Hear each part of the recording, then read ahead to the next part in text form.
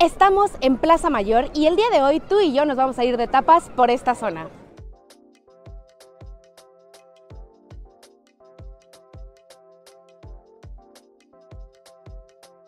Este lugar empezó siendo un mercado, sobrevivió incendios y demoliciones, fue testigo de juicios y ejecuciones durante la Inquisición y aquí se han celebrado corridas de toros, innumerables festivales y el día de hoy, en el 2023, es uno de los centros turísticos más grandes de Madrid. La verdad es que por esta zona hay muchísimos lugares y restaurantes a los cuales pudieras ir, pero el día de hoy te quiero contar sobre seis que valen muchísimo la pena. Lo mejor de recorrer Plaza Mayor es que tienes muy cerca otras atracciones como Palacio Real, el barrio de la Latina. Te dejo por aquí arriba y en la caja de descripción el video que acabo de hacer sobre este barrio y también tienes la calle Gran Vía muy muy cerquita. Como dato curioso, esta parte de aquí atrás, con los frescos en la fachada, es el único edificio original de la plaza, ya que todos los demás han sido reconstruidos por diferentes razones, porque se quemaron o porque la estructura ya no estaba bien. Así que siento que por eso vemos a todas estas personas, uno disfrutando el solecito, ya que es un día bastante frío, y dos, qué bonita vista, ¿no? Pero bueno, vamos a empezar este recorrido comiendo una bocata de calamar, ese bocadillo súper clásico y típico de Madrid. Y aquí hay dos lugares que seguro, si estás por esta zona, no te los puedes perder. Vamos a ver. Como te contaba, vamos a comenzar probando un clásico de Madrid, una bocata de calamares. Y tenemos dos lugares bastante conocidos, La Campana y La Ideal. Curiosamente están uno al lado del otro. Lo que sí pude notar es que para entrar a la campana, ya sea para entrar y disfrutar tu bocata con una cervecita o pedirla para llevar, hay una gran fila. Entonces tienes que tener paciencia. También por supuesto esto depende de la hora del día en la que llegues. Me gustó mucho que podías ver cómo estaban friendo los calamares y todo se veía bastante fresco.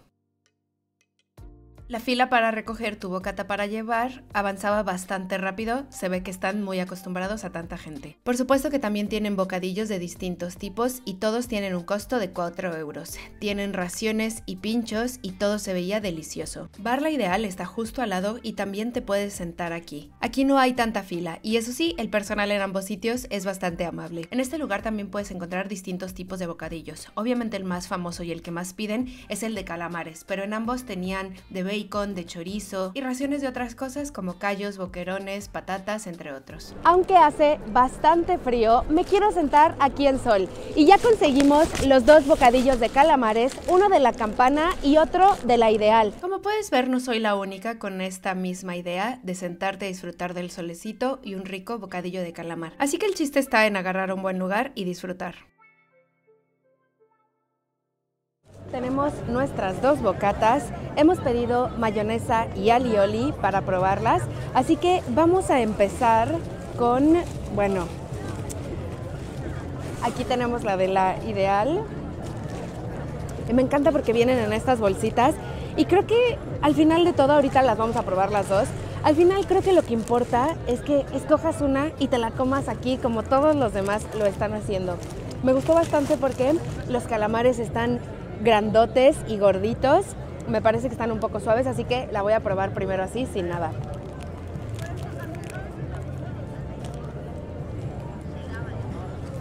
Mm. Los calamares están bastante suaves. Em, no sé, se sienten muy fresquitos y tengo mil ganas de ponerle alioli porque a mí me encanta el alioli. No sé cómo hacer esto. Bueno, lo voy a poner aquí.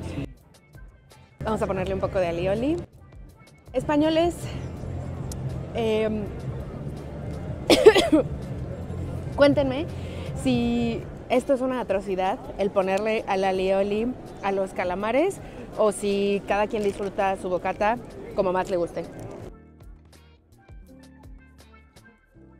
Vamos a probar ahora la bocata de la campana. Y viene el mismo concepto con la misma bolsita. Ya puedo ver desde aquí la diferencia un poco en cómo están fritos los calamares. A ver si ahorita se los puedo enseñar. Igual primero la voy a probar así solita.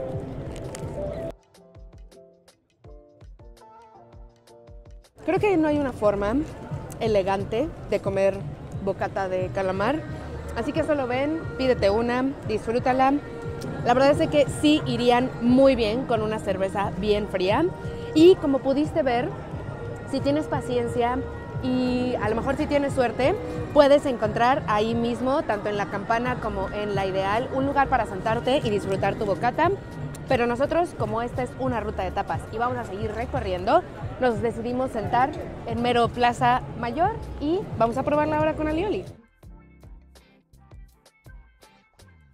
Está mejor esta. La verdad tiene que ser dicha, está mejor esta.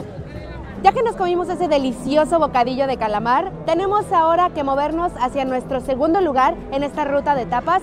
Tenemos que tomar calle de Toledo por aquí. Vámonos a Casa Revuelta. Vamos a continuar ahora dirigiéndonos hacia calle de Toledo y después a calle de Latoneros a Casa Revuelta. El día estaba precioso y lo mejor de este lugar es que tienen una terracita afuera donde puedes disfrutar de su cerveza y sus deliciosas tajas de bacalao.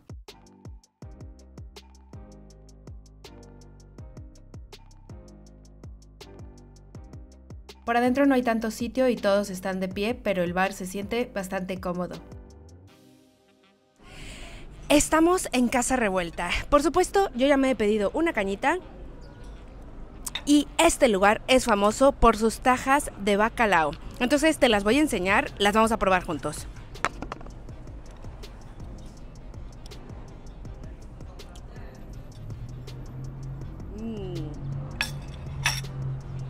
La verdad es que yo le voy a dar una mordidita así, se ve buenísima. Mm, el bacalao está súper fresco.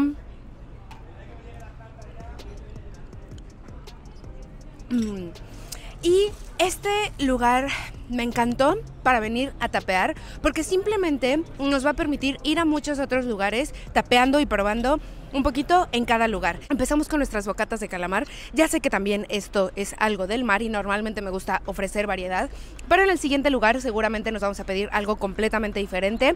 Así que vamos a disfrutar de esta cañita y te cuento luego qué más vamos a hacer. Aunque el bacalao es lo más famoso, tienen otro tipo de pinchos, raciones frías y calientes. Interrumpimos la programación para pedirte, por favor, que te suscribas a mi canal, que le des like a este video. Me ayudas muchísimo y le ayudas muchísimo a mi contenido porque así más ojitos van a poder descubrir mis videos, van a poder enterarse de la vida sobre Madrid, irse de tapas con nosotros, recorrer mercados y distintos barrios. Así que dale like, especialmente si el botón está en rojo y vamos a seguir recorriendo distintos lugares en esta ruta de tapas.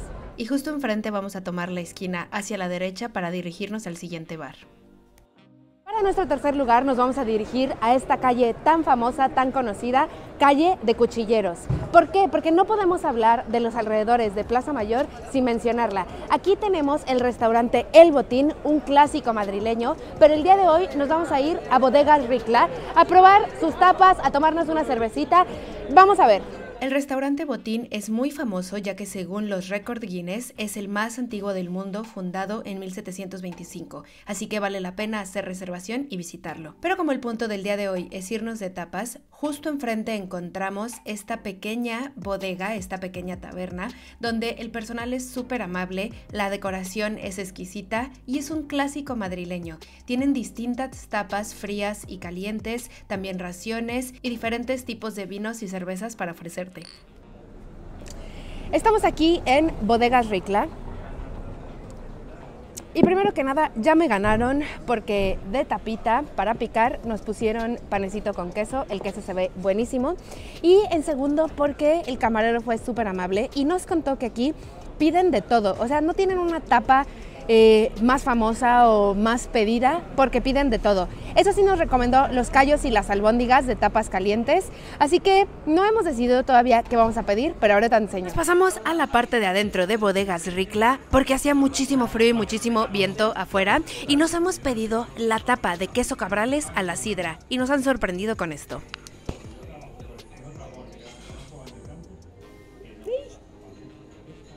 La tapita que te cuesta 4.80 viene con dos ponecitos y un delicioso queso cabrales que yo lo describiría como el queso azul español porque lo hacen en las cuevas del norte de España.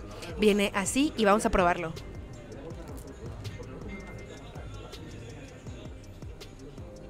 Mm. Mm. ese elemento que tiene de la sidra, siento que lo hace mucho más suave. A mí me encantan las croquetas de cabrales, pero el queso solito, súper fuerte, como que súper con mucho hongo, no me encanta, pero estas sí que las recomendaría porque ah, está súper suavecito, cremoso, está muy muy bueno y todo en la carta se veía delicioso. Te quiero contar que en esta taberna no puedes pagar con tarjeta, solamente puedes pagar en efectivo. Y un chiste que tienen aquí que me gustó bastante, dice, no se aceptan tarjetas de débito desde 1867, que es cuando se fundó esta taberna. Entonces, recuerda que si vas a este lugar, tienes que llevar efectivo ya que no aceptan tarjeta. Para nuestro cuarto punto de nuestro recorrido, estoy afuera del mercado de San Miguel. Ya nos comimos una deliciosa bocata de calamares, ya fuimos a Casa Revuelta por una cañita y por un tajo de bacalao, fuimos a Bodegas Ricla por otra cañita, por otra copita de vino o por un refresco y nos comimos esa deliciosa tosta con queso cabrales. Mi plan ideal para terminar esta ruta de tapas sería el mercado de San Miguel. Recuerda que yo ya hice un video contándote todo sobre este mercado, te lo dejo por aquí arriba y en la caja de descripción donde podrás ahí descubrir las gemas escondidas y lo que sí vale la pena de este mercado. Como puedes ver, hay mucho jaleo por esta zona, pero es parte de su encanto. Ahora, si tú quieres venir aquí, para mí es el plan ideal por lo siguiente, porque si te vas por aquí y a la izquierda llegas justo a Palacio Real. Entonces, no hay mejor forma de, de terminar tu ruta de tapas que yendo y recorriendo toda esa zona. Pero si tú quisieras irte hacia el otro lado de Plaza Mayor, nos vamos a ir a a un restaurante, a un bar, a una taberna que está muy bueno y vamos a terminar con algo dulcito para el paladar. Ahora imaginemos que no quieres terminar en el mercado de San Miguel, te propongo ir a El Mini Bar. Es un lugar que por fuera se ve bastante interesante en una pequeña esquina y por adentro la decoración es bastante curiosa, diría que hasta cierto punto con colores mexicanos. El ambiente me pareció súper agradable para ir ahí a desayunar o comer y disfrutar de una buena cerveza o un buen vino. Me sorprendió las buenas tapas que nos trajeron y también algo que no me esperaba era que tenían entradas y tenían montaditos como unas bocatas más pequeñas y bocadillos más grandes.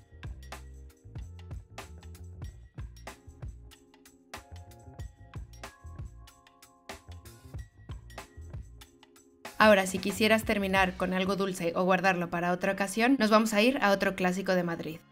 Como último lugar en este video y para terminar con algo dulce, aunque aquí no nos vamos a pedir una tapa, no vamos a ir por cervezas o por una copa de vino, no podía omitir Chocolatería San Ginés. ¿Por qué? Porque si estamos hablando de lugares que valen la pena por Plaza Mayor, yo que vivo en Madrid desde hace cuatro años y muchos de los locales, no puede faltar este lugar que es famoso para turistas y para locales. ¿Por qué? Porque aquí los churros con chocolate son un clásico y de hecho son famosos para después de un día de fiesta para el 31 de diciembre, que ya se convierte en el primero de enero. En toda ocasión, en la mañana o en la tarde, para mí vale muchísimo la pena pasarse por aquí, así que acompáñame. Encontramos este lugar en un pequeño callejón y tiene para sentarse afuera y adentro. Recuerda que lo primero que tienes que hacer es dirigirte hacia la caja pedir, pagar y ya después de esto tú puedes decidir dónde te sientas. Entregas tu ticket y traerán lo que hayas pedido. Por supuesto lo más clásico son los churros con chocolate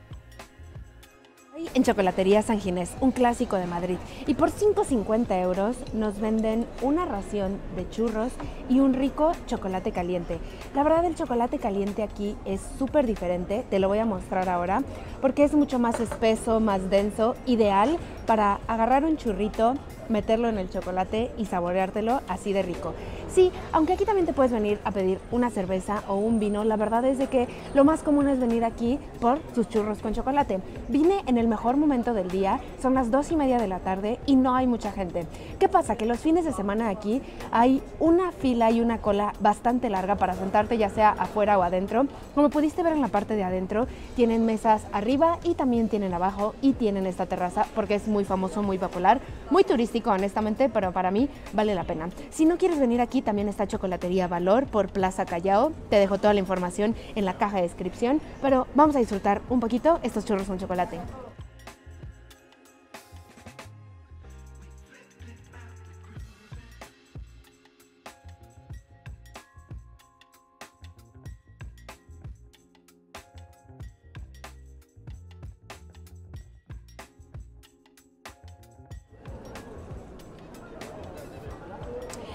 Que este video te haya sido útil, te haya servido. Espero que se te hayan antojado un par de cositas por aquí, por Plaza Mayor, y que hayas descubierto que hay gemas escondidas, donde tapear, donde beber y que se come muy, muy bien. Lo vamos a dejar por aquí el día de hoy, pero te voy a dejar este video de tapas por Puerta del Sol, donde seguramente encontrarás otros lugares deliciosos y te dejo también esta lista de reproducción donde encontrarás diferentes mercados y diferentes barrios de Madrid que vale muchísimo la pena visitar, recorrer y disfrutar. Nos vemos en la próxima.